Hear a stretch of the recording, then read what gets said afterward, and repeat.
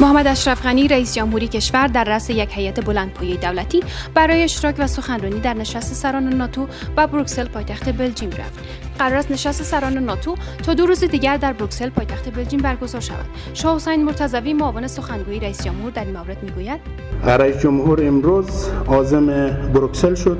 فردا ملاقات با سران کشورهای مختلف داره روز پنجشنبه در نشست سران ناتو حضور پیدا می‌کنه سخنرانی داره چند موضوع در اینجا مطرح میشه. یک موضوع افغانستان هست. دو مبارزه با تروریسم فرامرزی هست. حمایت از پروسه صلح هست و همچنین مبارزه علیه شبکه های اقتصاد جرمی هست. و نتایج این جلسه برای افغانستان می‌تونه به نهایت مهم باشد. نشست عالمان دین جهان در مورد صلح افغانستان در عربستان سعودی آغاز شد.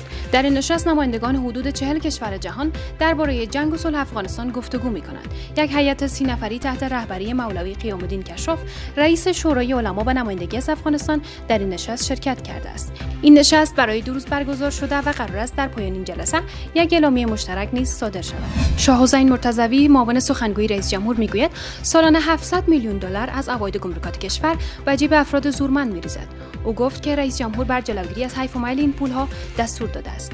جمهور با مسئولین گمرک جلسه داشت هفته گذشته و تاکیدش بر این بود که ما چگونه از حیف و میل عواید خصوصا در گمرک ها جلوگیری کنیم که این حیف و میل شاید به 700 میلیون دلار در سال می‌رسه و شاید هم بیشتر که به جیب افراد میره که یا زورمند هست و یا بر حال از نفوذی که داره در گمرکات استفاده می‌کنه. و گفته مرتضوی حکومت تلاش دارد که عواید داخلی را تا 8 میلیارد دلار در سال برساند.